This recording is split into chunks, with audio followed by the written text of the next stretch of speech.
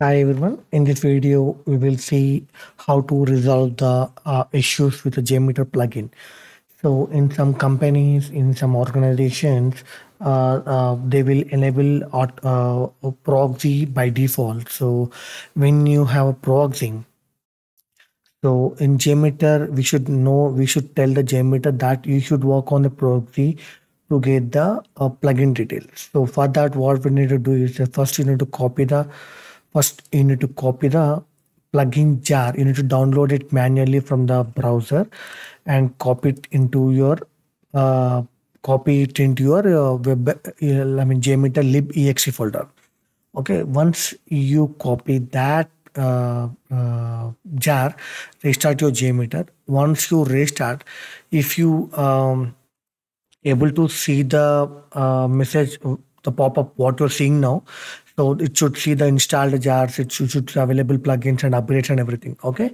If you are not able to see that, then what you need to do is like go to uh, go to uh, settings of uh, any browser settings of any browser and go for proxy and uh, see is there any proxy enabled so here we have a proxy with double LAN double LAN port okay? So for that what you need to do is uh, you go to the uh, jmeter go to jmeter bin folder.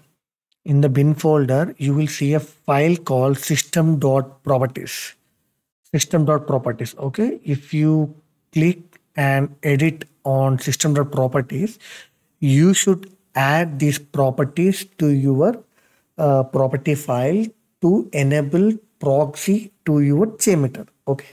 So you can access your browser, you can access your emails and everything, but uh, you cannot open a plugin manager in JMeter because your system, your uh, uh, Chrome browser or Mozilla or Edge or Outlook, everything automatically looks for the system configuration proxy. Okay, but JMeter don't know. Uh, it's try to directly connect with uh, connect with um, the internet but uh, actually you have enabled the proxy so you need to request your uh, plugin manager service to your proxy. Then proxy will pass the request to the actual server and then it will get the response from the proxy. So to make that uh, uh possible so we are making here like http proxy and https proxy. So for http request for https request for both we are adding uh, we are adding um, what we are adding the port numbers okay? So if this is disabled uh, you cannot access any web application or anything which it, which you are able to access through your browser. You cannot access through your jmeter. If you run with your jmeter also it will not allow you to do that. Uh, i mean it will throw a connection refused or connection timed out or something kind of error. So once you have copied or once you update these properties then restart your jmeter okay? Once you restart the jmeter so it will uh, it will allow you to connect the proxy. And you will have one more issue now. So if you have a, if you have a, uh, if you have any um, https proxy server so now the proxy server what i'm using is fiddler. Okay? It's a fiddler server. Fiddler uh, uh, i'm i'm enabled a fiddler which is acting as a proxy in between JMeter and an actual server. Okay. Now, if you're trying to download your jars, it was failing. It was failing just uh, and saying, see, if it was saying a failure to download. So it, what it was saying is it was the actual error. Uh, actual error is like it couldn't find the certificate to import, unable to find the valid certificate. So for these kind of issues, what we need to do is like we need to import the Fiddler certificate into your Java. So generally Java certificate holds in uh, JRE lib, uh, bin lib folder. There you will have a secret folder and you will have a CA cert file. So to that you need to add your certificate. So this is the actual command. This is the actual command uh, which we need to import to our certificates. Okay. So this is our actual certificate. So you need to get your certificate. Uh, so from Fiddler, we have option uh, we have option to get our HTTP certificate to desktop. Okay. Now, if you're if you have a different prog, you will have a different progress server, right? So try to launch the URL or the host name here, and get the certificate by using like if you uh, if you select this, you will get a certificate here. So go to the site setting. Uh, you uh, you can go to the you can view the certificate. Connection is secure uh, certificate valid. You can go to the certificate. You can import from here and uh, you can use the certificate and export to the desktop or somewhere to your folder. So now uh, now get the certificate name. Certificate name. So this is your certificate name. This is my certificate name. So now what we need to do is like copy this copy this copy this certificate uh, name sorry command or you can do one more thing like uh, cmd cmd and uh, dir here. If you have a desktop here if, yeah we have desktop. So going to desktop. So here you have the certificate uh, certificate uh, file okay if you don't have certificate file in desktop so navigate to the respective folder from where you can import.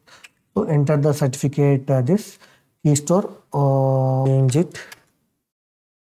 This certificate yes. Certificate access denied okay. So if you see this command access denied then run your cmd in run as administrator. Once you run this as run as administrator uh, so go to C drive cd dot dot cd uh, dot dot cd users cd u user cd desktop. From here copy your certificate uh, copy your uh, command. Enter here. The password is change it. The default password is change it so trust yes, certificate added to keystore. Now what we need to do is restart your JMeter. Restart your JMeter and your certificate, your Fiddler certificate is imported successfully. So instead of Fiddler certificate, you need to get your your proxy certificate. So I mean your proxy server certificate. Uh, then you import your proxy certificate. Go to the plugin manager now uh, click apply and changes. Now it should download your JARS now. I mean the certificate issue should be uh, gone now. Now see this was uh, now this was changing. Now for downloading, downloading uh, SDK common. Now you're not seeing any errors. Now you're not seeing any error.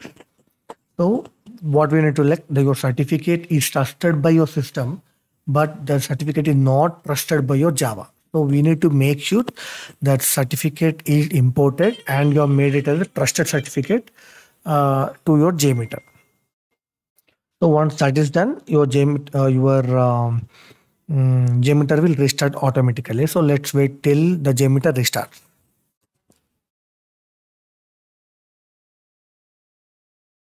So lot of jars we have here to download. So it was taking some time. So downloaded successfully and restarting.